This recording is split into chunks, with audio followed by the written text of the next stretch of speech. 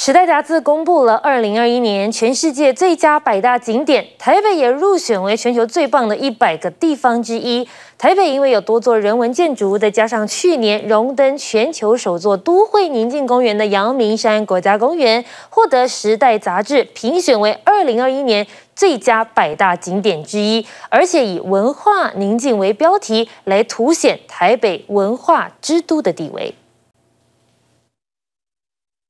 请订阅、按赞、分享 TVBS News 频道，要开启小铃铛哦。还有还有，下载 TVBS 新闻手机 App，随时掌握国内外大事。